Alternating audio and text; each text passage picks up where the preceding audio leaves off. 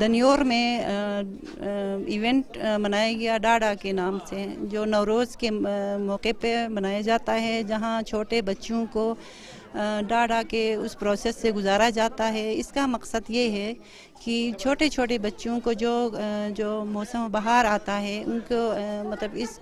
Celebrate کیا جاتا ہے۔ ان کو جو ہمیں اللہ نے جو ہمیں سوغات دی ہے، اس کے شکرانے کے لیے ان کو پریکٹس کرایا جاتا ہے اور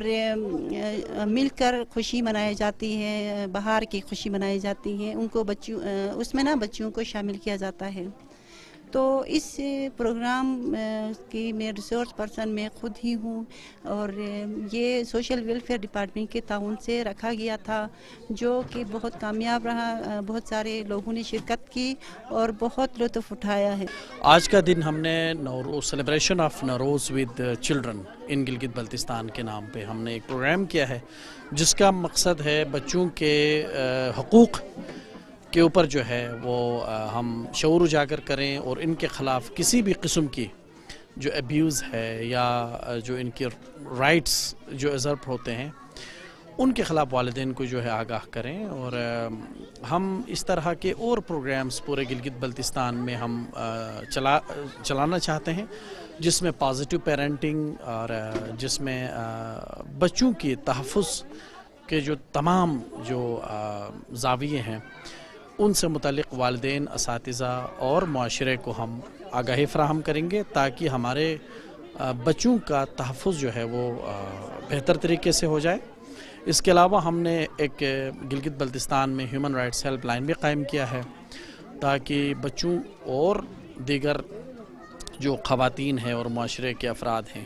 ان کے خلاف کوئی بھی زیادتی جو ہے وہاں رپورٹ ہو سکے گی اور ہم ریفرل میکنزم کے تحت اس مسئلے کا حل تلاش کریں گے۔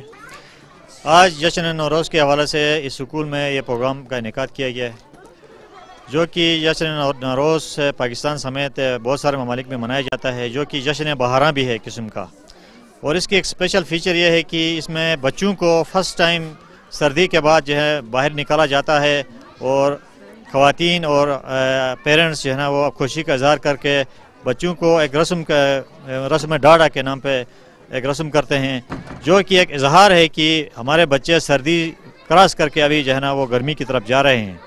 تو یہ رسم ڈاڈا آج یہاں پہ کیا گیا، جو کہ گلگت بلتستان کے ہر جگہ پہ کیا جاتا ہے۔ بہت بہترین رسم ہے، جو کہ بچوں کی گرومنگ بچوں کی ہیلتھ کے حوالے سے اور بچوں کی صفائی اور خوبصورتی کے حوالے سے یہ رسم ڈاڈا ایک انتہائی اہمیت رکھتا ہے۔ تو اس طرح کی ہیلدی ایکٹیویٹیز ہر جگہ پہ ہونی چاہیے۔ کہیں پہ بھی کوئی بھی فیسٹیول ہوتا ہے، اس کی ایک اپنی تاریخی اہمیت ہوتی ہے۔ اور کہیں پہ بھی اس فیسٹیول کا انعقاد ہوتا ہے تو اس کو مزید بہتر کرنے کی اور ہر جگہ اس کی ریپلیکیٹ کرنے کی کوشش ہونی چاہیے تاکہ علاقے کا، ایک علاقے کا کلچر اچھی طریقے سے پروموٹ ہو۔